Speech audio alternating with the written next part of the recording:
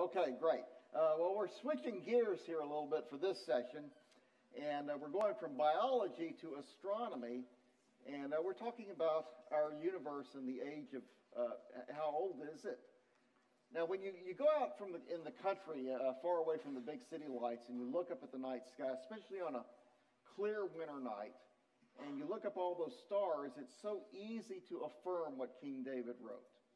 The heavens declare the glory of God, and the firmament or the expanse shows his handiwork. But we're being told, aren't we, however, that that's not the case. We're being t- told by television shows, popular science magazines, and professional scientists that our universe, rather than declaring God's glory, is the result of a cosmic accident that they call the Big Bang. And it's kind of an explosion, but it's not an explosion in the normal sense of the word. They're claiming that space itself exploded and that somehow we are here as a result of all of that. Now, there are lots of problems with the Big Bang. Uh, no Christian should be intimidated into accepting it. And we could spend an entire presentation on just problems with the Big Bang. But I want to point out one really uh, glaring problem is that the Big Bang has a hard time explaining the origin of stars. Now, it's not that they don't have a theory. They claim that stars form from these giant gas clouds in space. But you know, gases tend to expand, okay? And you don't have giant pistons out in space in order to compress the gas. You got to compress the gas if you want to make it turn into a star. So they think that you can have shocks from these explosions that can compress the gas and make this work. Uh, and they say that uh, the source for these shocks are exploding stars. Okay, well, I guess that's all well and good, I suppose, but where did the first stars come from? You know, if your explanation for star formation requires one generation of stars to already be in existence, you got a problem. So there's lots of problems with this Big Bang, but one of the key elements is that it's the idea of an un- unimaginably old universe. They're claiming the universe is almost 14 billion years old, and yet Scripture clear, clearly teaches a recent creation, sometime around 6,000 years ago. Now, despite what you see on TV or read in magazines, science cannot tell us the age of the universe, and the reason for that is really simple. Uh, age isn't something you measure in a laboratory. Okay, anytime you hear a scientist talking about these age estimates, these are always calculated numbers based on assumptions about the past, and those age estimates are only as good as the assumptions behind them. Now, creation scientists and evolutionary scientists have very different starting assumptions.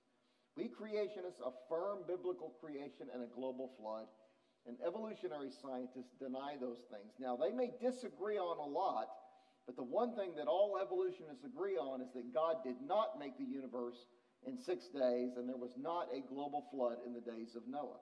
And they hold to a philosophy called uniformitarianism.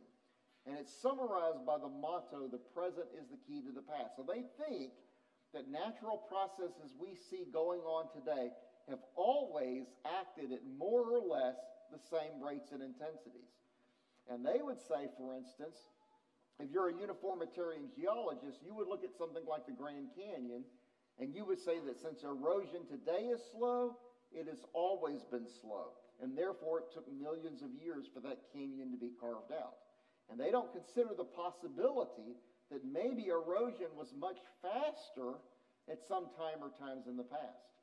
Now, the world is going to try to make you feel foolish for holding to recent creation. They want you to think that you're committing intellectual suicide if you believe what the Bible says about the age of the universe. And I want to give you three reasons uh, that you can be confident, every Christian can be confident that biblical recent creation is more reasonable than the Big Bang.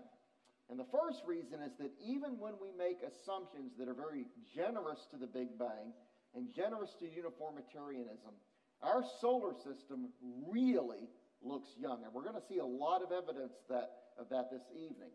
Uh, for instance, comets, okay, they limit the age of the solar system to tens of thousands of years, not even millions of years or even billions of years. So the solar system looks really young. Also, there's a creation scientist named Russ Humphreys who used biblical assumptions to make a bunch of successful predictions about the magnetism or magnetic fields of bodies in our solar system.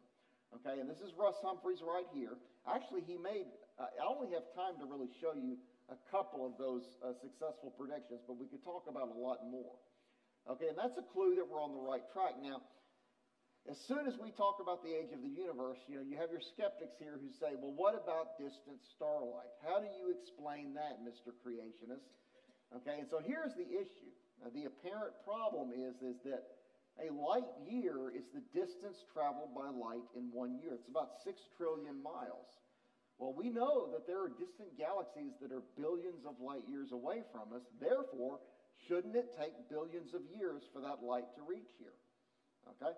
And to make matters worse, there are some processes going on in deep space that seem to demand large amounts of time. For instance, you have galaxies that are colliding. And if you think about how far apart those galaxies are and how fast they're moving relative to one another, it looks like these collisions ought to take millions of years.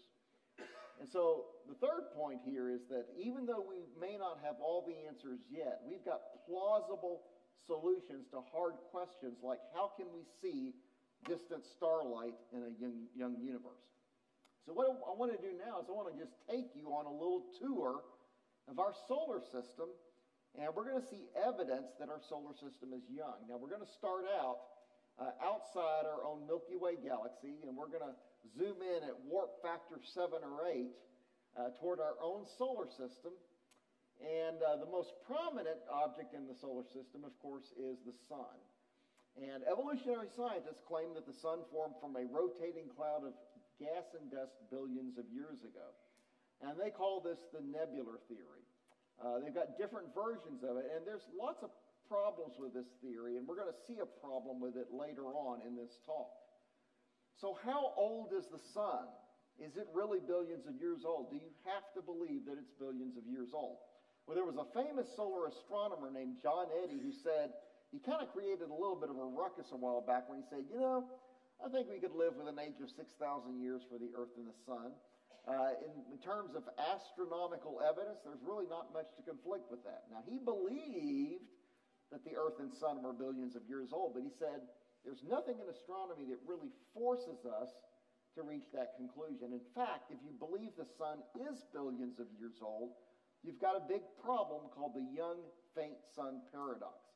And it's kind of ironic that it was the late Dr. Carl Sagan who was famous for going on about billions and billions of years he was one of the first people to realize this problem.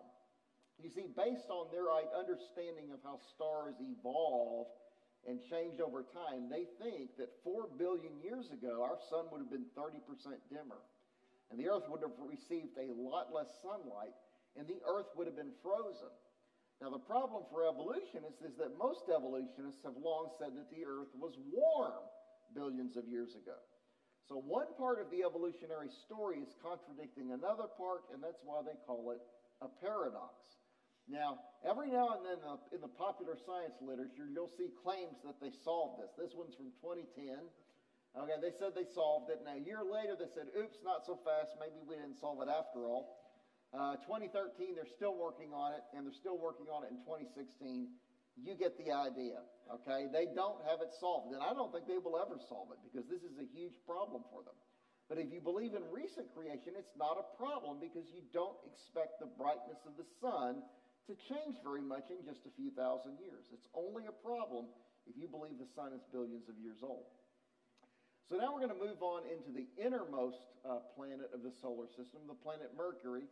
And uh, maybe it's just me, but I have the sneaking suspicion that when the Lord Jesus comes back, he's going to make us change the names of these planets, okay? Uh, you know, he is a jealous God after all. Um, but Mercury looks young. It has a magnetic field. Now, why does a magnetic field for something like Mercury in, imply youth? Well, evolutionary scientists, they, they believe that these bodies in space have had magnetic fields lasting for billions of years. And in order for that to work, you have to have something called a dynamo or a natural dynamo. And they have a theory about how this could work. It doesn't work very well, but a critical part of this theory is that the body, the moon or the planet, has, has got to have a liquid core. It's got to have a liquid core. Now, the problem for them is after billions of years, for small bodies, that liquid core should have frozen and you should no longer have a magnetic field. Okay? Uh, and so this is a general problem. Okay? As a general rule, if you have a relatively small body like a moon or, or a small planet and it's still warm, that is usually going to be a problem for billions of years. Maybe not always, but most of the time it is. So they were not expecting Mercury to have a magnetic field. So they were surprised when the Mariner 10 spacecraft detected that magnetic field. Uh, because again, it's small, it should have cooled off eons ago. Now we're going to um, uh, visit a visitor to our solar system, a comet. And I think most of you have heard about these dirty snowballs. When they come near the sun, Okay, the, the radiation from the sun causes the ices on that nucleus to, vapor, nucleus to vaporize, and you get these nice, beautiful tails. So they lose a little bit of material each time they come near the sun, and so they're like melting ice cream cones. They have finite lifetimes that are typically measured in tens of thousands of years. And yet, evolutionary scientists claim that these are leftovers from the formation of the solar system billions of years ago. So, how then can we still see comets? Well, we think the answer is obvious, okay? They're not billions of years old. Now, evolutionary scientists, they're aware of this problem, and they claim that there are these reservoirs of icy bodies that can replenish or restock the solar system with new comets. Okay? And they, have got and they've got two of these proposed reservoirs, and that's because you have different kinds of comets. They have different orbital characteristics, and you need more than one reservoir to try to explain all of them. Uh, and uh, you've got some uh, comets that go around the sun fairly quickly in less than 200 years. Those are the short period comets. And then you've got others that take longer. Those are the long period comets. And the short period comets, you can further subdivide those into what are called the Halley type and the Jupiter type comets, dependent on their characteristics.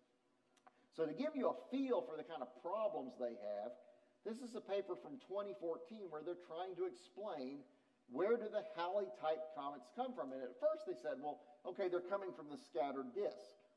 But then they thought, oh, wait, we don't have enough material there for that to work. So they said, okay, well, maybe they're coming from the Oort cloud. That's all well and good, but even Carl Sagan acknowledged there's not a shred of direct evidence that the Oort cloud even exists. It's totally hypothetical because they had to cook it up to explain how they can still have comets after billions of years. Okay, so the bottom line is that these reservoirs just don't work very well. Okay, and, there, and there's a good chance one of them doesn't even exist. Um, now we're going to go into uh, the next planet in our solar system, and that's Venus. And uh, Venus, the surface looks young. Okay, in fact, there are indications that it is still geologically active even today. Now, that doesn't necessarily prove that it's just thousands of years old, but it's certainly consistent with a, a, a young age. Now, I'm hoping everybody recognizes this next stop on our tour, okay, because this is home, okay, the Earth. And uh, there's some interesting things about the geography of Earth. 71% of the Earth's surface is underwater.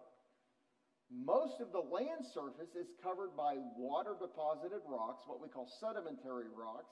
And within those water deposited rocks, you have the fossilized remains of billions of plants and animals. Now, we creationists think, oh, that sounds a lot like you would expect from the Genesis flood. And uh, that's what we're arguing. So we're saying that rather than the, being evidence for millions of years, those rocks and fossils are evidence for the Genesis flood. Now, we've got a lot of indicate, indicators that the earth is young, uh, Earth's magnetic field is strong evidence that the Earth has to be young. Now remember, they're trying to explain how the Earth and these other bodies can have a magnetic field lasting for billions of years. They're trying to use this dynamo theory. But not too long ago, a geophysicist said, you know, we don't really know how the Earth can maintain a magnetic field for billions of years. And we know now, we, we know now, uh, we have less of an understanding now than we thought we did a decade ago. Okay, and it gets worse than that because based on historical measurements over the last couple of hundred years, we know that the energy of the Earth's magnetic field is rapidly decreasing. Now, if you run the numbers backwards, say 20 or 30,000 years, the energy of the, the field is so big that the electrical current required to produce it would produce enough heat to melt the Earth's crust and mantle. And that is a big problem, okay? So this is strong evidence that the Earth and its magnetic field can only be thousands of years old. Uh, now we're going to take a trip to uh, the nearest neighbor in space, that's the moon. And the moon really gives evolutionists a hard time when they're trying to explain its existence. Now, they claim that a Mars sized body slammed into the Earth and somehow the moon formed from that. Uh, but they, they really have a tough time. In fact, there was a famous Harvard astrophysicist who was once quoted as, as saying, The best explanation for the moon is observational error. The moon doesn't exist. Okay? So I, I don't know, maybe the moon's playing peekaboo with us or something when nobody's looking. I'm not sure how that's supposed to work, but that gives you a feel for just how much trouble they have when it comes to explaining the moon. Now, the moon is relatively small, and they think it should have cooled off billions of years ago. In fact, you can go on the internet and find some outdated websites that still claim that the moon has been geologically dead for the last three billion years. But we now know that is not true. These, these linear things you see on the surface there, those are called scarps. And there are these geological features that are forming because the moon's crust is still cooling off and it's shrinking a little bit. And it's causing these, these scarps, these escarpments that you see here. And uh, the secular scientists were completely shocked by that because they, again, they think the moon is four and a half billion years old. It should have cooled off a long time ago, and this shouldn't be happening. But it is happening. And that's an indication that the moon is a lot younger uh, than what they say. Our next stop is the red planet, Merc- um, I'm sorry, Mars, not Mercury. Uh, and they very much want to find evidence of life on Mars uh, because they think that will make the evolutionary story seem a little more believable. Uh, they haven't turned up anything yet, and I don't think they will. But they also think there's geologic evidence of catastrophic flooding on Mars. Now, I'm okay with that. Most creationists are.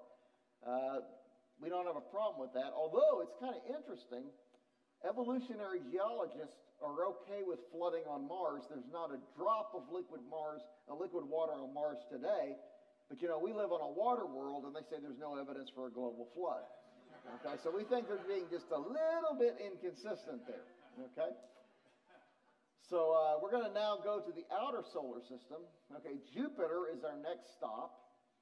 And of course, it's famous for its very large size and its, its beautiful red spot and those beautiful bands uh, that make it so colorful. I'm not going to say a whole lot about Jupiter except that evolutionary astronomers have had a long have had a hard time explaining how Jupiter could form.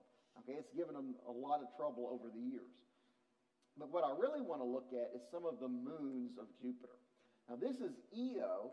It's one of uh, the larger moons of Jupiter. It's the most volcanically active body in the solar system. But it, you know, compared to you know the size of a planet, it's pretty small. So how has it retained the energy to drive those volcanoes for billions of years? It should have cooled off a long time ago. Now, evolutionary scientists are aware of this. You know, whenever they encounter this, they claim that something called tidal flexing is heating up the crust, where you can have these gravitational tugs that kind of stretch and compress the crust and warm it up. Uh, but it's not quite that simple, and there's some reasons to think that that's in and of itself is not a good explanation for the volcanism on Io. Io really does look young. Now, this is another one of Jupiter's moons. It's called Ganymede, and it's got a magnetic field. And guess what? It bothers evolutionists for the same reason that Mercury's magnetic field bothers them. Okay? It, this is a relatively small body. It should have cooled off e- eons ago. No liquid core and no magnetic field, and yet it does. Now, of course, they knew about tidal flexing before they found out that Mer- uh, Ganymede had a magnetic field, but they still weren't expecting it to work. Now, today they have to say it's tidal flexing because we know that it does have a magnetic field, but they weren't expecting it. Okay, they didn't think originally that tidal flexing would work. And I'm, I'm not sure that tidal flexing will work, but there's not a problem if it's young. Okay, it's no surprise that Ganymede could have a magnetic field. Uh, now we're going to head on out to the, uh, the next planet. Uh, that's Saturn. And of course, Saturn is famous for its very beautiful rings. And those rings are young. They are definitely young uh, because they're made up of ice particles. And those ice particles are constantly being pelted with space dust. And so you would expect that over time they would get dark and sooty. They would probably be the color of charcoal but they're not. They're still very bright and shiny. And even the secular scientists have had to admit these rings cannot possibly be more than 300 million years old. Now remember, they think the planet Saturn is four and a half billion years old. Okay? Uh, now, could it be younger than that? Yeah, absolutely. Okay? Could it be 6,000 years old? Sure. Okay, that's just a maximum possible age if you make evolutionary assumptions. But the true age can certainly be less than that. And I think the true age of Saturn and its rings is 6,000 years. Now we're going to look at one of uh, Saturn's moons. It's called Titan. It's got a nitrogen atmosphere, but there's also some methane in that atmosphere. And that methane is being broken down by ultraviolet radiation, but there's no evidence that it's being replaced. And that puts an upper limit on the age of the atmosphere of anywhere from 10 to 100 million years. Okay, now could the true age be less than that? Could it be 6,000 years? Absolutely. And I think that is the true age of Titan. Uh, the next stop on our tour is Uranus. And Uranus is interesting uh, because it, it rolls on its side. You know, the other planets, they spin like tops, but Uranus rolls like a wheel on its side. And that's a problem for this nebular theory because if you believe everything formed from this rotating cloud of gas and dust, everything ought to be spinning the same way. Okay, you shouldn't have something spinning on its side like that. And to make it worse, it's not just that Uranus is spinning on its side, its rings are also sideways, and so the, the moons also orbit sideways. That is really tough for evolutionists to explain. But you know, God can do what he wants. If he wants to make a planet tilted on its side, he's certainly free to do that. Now, Russ Humphreys predicted uh, a number for what we call the magnetic moment of Uranus. Okay, the magnetic moment is just a number that gives you a rough estimate of the size of the magnetic field.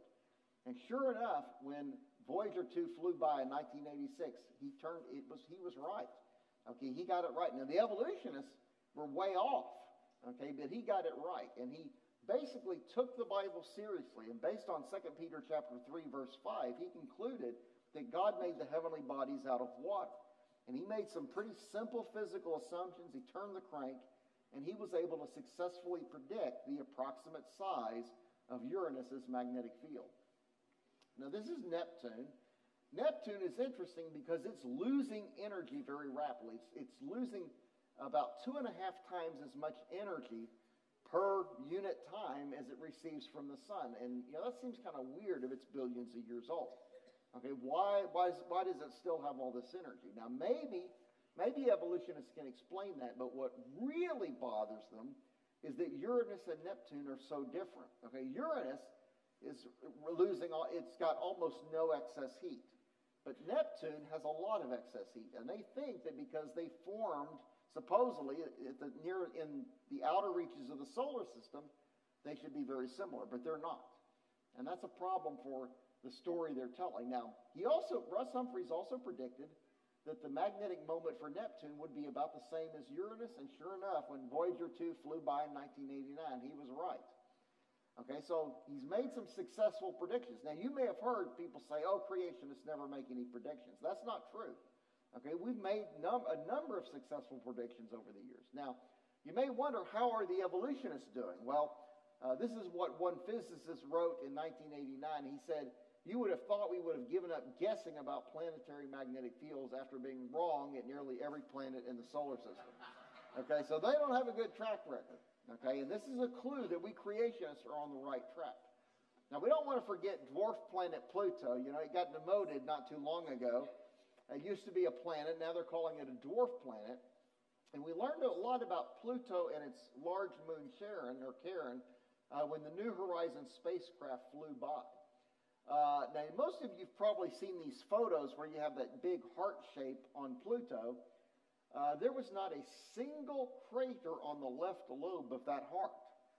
And scientists concluded that it couldn't be more than 10 million years old. And remember, the planets are supposed to be billions of years old. And they think that something happened. Somehow there was some something happened to resurface that part of Pluto. And I think that's reasonable because even in a 6,000 year old universe, you know, you would expect maybe a few meteorites to hit that section. So the fact that it's so clean and devoid of features like that seems to really suggest that something happened. There was some geological event that resurfaced that part of Pluto. The problem for them is that takes heat, okay? And they don't understand how Pluto could stay warm for 4 billion years. Okay, well, of course, we think we know the answer. Pluto's not billions of years old. And it's kind of funny, the lead researcher for New Horizons, it's almost like he knew we creationists were going to pounce on this, and he said, uh, you know, we can't appeal to young, uh, a young system to explain energy sources. Okay, in other words, don't try to tell us that Pluto and its moon Charon are young. And I'm saying, well, why not? Okay, just because you evolutionists have a hang up on this, there's no reason we can't use this explanation. And that's the reason. It's young. Uh, now, of course, we got our young skeptic here, okay? She hasn't gone away. She says, oh, well, that's all well and good, but I still want to know about distant starlight. So let's talk a little bit more about distant starlight. Now, when you get into this issue of distant starlight, you're talking about something called cosmology, which deals with the origin and the large scale structure of the universe. And the problem with cosmology is you can't do it without making assumptions. Like it or not, you have to make assumptions. Okay? Even um, very atheistic scientists like Stephen Hawking have admitted this. Okay? So you have to make assumptions. Now, there's a misconception out there that the laws of physics prevents or prevent distant starlight from reaching Earth quickly. That's not quite right. Okay? They, the rules prevent light from getting here quickly if you make some assumptions, okay? In fact, even physicists who are not creationists have acknowledged it is theoretically possible for distant starlight to get here in no time at all. If you want to learn more about it, you might want to look up that YouTube video, Why No One Has Measured the Speed of Light. Okay? And creationists have come up with models to explain distant starlight getting here quickly. Uh, now, I don't think we've necessarily got the right answer yet. Okay, now Russ Humphreys is the guy who kicked this all off with this book of his, Starlight and Time, that was published in 1994. Now, there are some other creation scientists who don't think his mechanism can provide, can get it quite to work. Okay, but he's got some new ideas that have come out that I'm kind of intrigued by, and you should be reading about that pretty soon in Acts and Facts. But a lot of creationists think Einstein's theory of relativity is the key to solving this problem. And of course, relativity theory, you know, that, that's where you get these weird effects where clocks can tick at different rates depending on differences in gravity or differences in relative speeds between objects, okay? And a lot of, and pretty much every creation based explanation for distant starlight uses relativity theory in some way. Now, I know some Christians are suspicious of relativity theory. Uh, they think it was something concocted by Satan. Uh, but it, really, relativity theory is our friend as creationists, okay? It may help us explain uh, this, this, this issue. Now, if you think Satan invented quantum mechanics, that I can understand, okay? But relativity theory is our friend, okay? And again, it raises the possibility that clocks could tick at different rates that clocks in deep space could tick much faster than clocks here on Earth. And that would have given the light time to get here, but as measured by clocks on Earth, the entire universe is just 6,000 years old. And I think about the, the Bible allows this. Okay, we know clocks can tick at different rates. Okay, that's an experimental observed fact. And the Bible, when it's talking about the days of creation, it's clearly measured with respect to time on earth. You know, the Lord says over and over and over again in Genesis 1 in the evening and the morning were the first day, and the evening and the morning were the second day, and the evening and the morning were the third day. This is all measured by sunrise and sunset on earth. And the Bible was written for people on earth. It was not written for people out in deep space. Now, we haven't nailed down all the details on this issue, but we've got good options, and this is not the insurmountable objection to biblical creation that people think it is. Uh, in fact, you could argue that it's already been solved in principle although we may not yet have a solution that explains all the observations, all the astronomical data. That's what makes this hard. Okay, but guess what? The Big Bang has a similar problem. You might think, because you watch TV, that the Big Bang does explain all the observations, and that is not true. In fact, the Big Bang has its own version of this light travel time problem, and this is the reason that something called inflation was tacked onto the Big Bang model. And inflation is this idea that the universe went through this hyper accelerated growth spurt early in its history. It's basically a miracle. Okay, it's the secular equivalent, equivalent of a miracle. And they tacked it onto the Big Bang model to solve really some problems that were potentially fatal. Now, there's zero evidence for inflation, okay? And inflation theory has gotten so weird that some of the former advocates now, for it are now harshly criticizing it. Okay? But there's also another problem, and that is that extremely distant galaxies look more mature than you would expect if the Big Bang is true. And let, let me just kind of explain this. Remember, they're assuming that distant light takes a long time to reach us. Okay, so you know, if you've got light from very far away, it's going to take billions of years to reach us. So, what about the very farthest galaxies? I mean, you've got galaxies out there that supposedly, uh, you know, we're seeing light from them that was emitted just a few hundred million years after the supposed Big Bang. Now, if that's the case, we should not be observing these far, far away galaxies as they are today, but as they were billions and billions of years ago, right? Okay, I, I see somebody got my little joke back there. the rest of you may not be, be uh, paying attention, but so that means that distant galaxies, they shouldn't look mature. They ought to look immature. They ought to look unevolved. Well, guess what? That expectation is routinely contradicted. Okay, routinely. So that tells me there's either something wrong about their ideas about how galaxies evolve over time or there's something wrong with the assumption that distant starlight takes billions of years to reach us, or maybe both. Okay? Uh, so, you know, I will admit that the strongest arguments for an old universe involve objects that are in deep space, but that's where our knowledge is the weakest, where we have to make the greatest assumptions. Okay? So these age estimates are even weaker than evolutionary age estimates for things here on Earth. Now, interestingly enough, even though deep space objects give us their greatest argument for an old universe, even some deep space objects look a lot younger than they're supposed to. Uh, for instance, you've got planets in other solar systems, what we call exoplanets, that often look too young, much younger than they're supposed to be by evolutionary reckoning. Uh, there are some exoplanets out there that they call hot J- Jupiters and hot Neptunes they're called hot because they're really close to their host stars.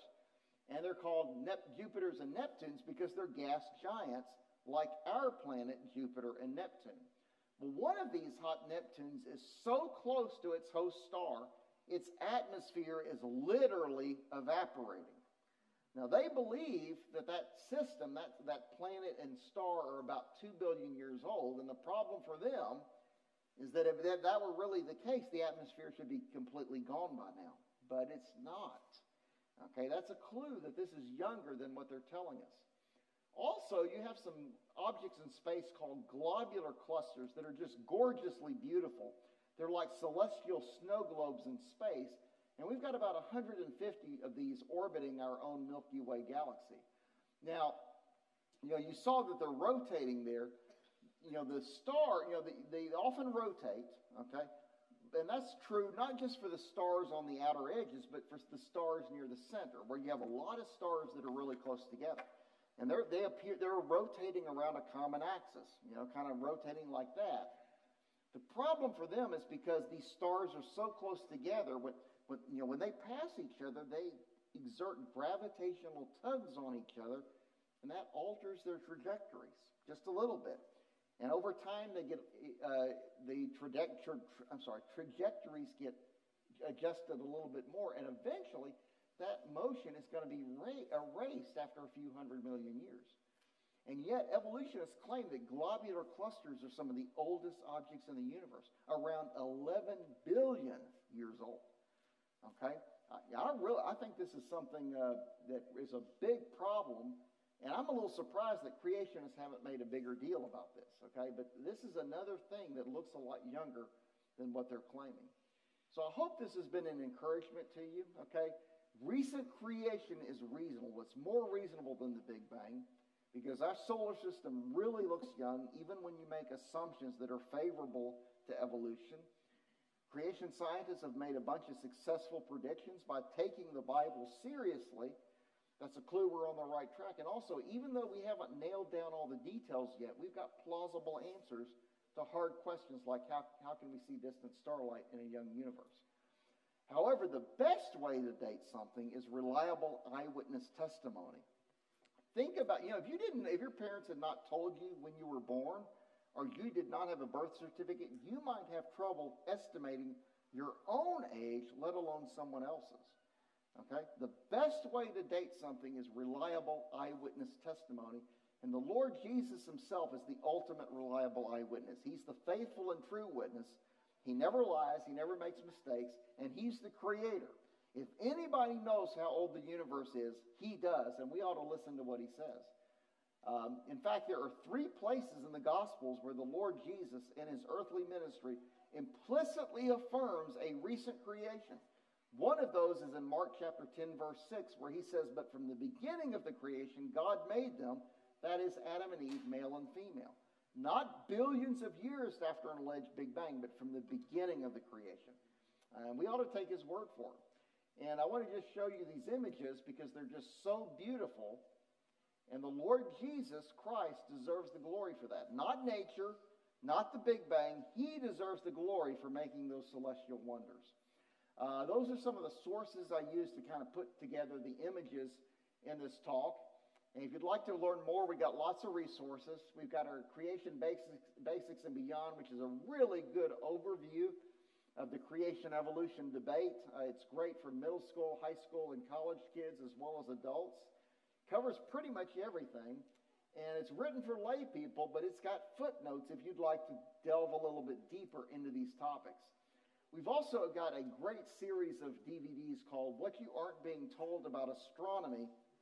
They have beautiful images in them, and they've gotten rave reviews from parents, from grandparents, and even professional scientists.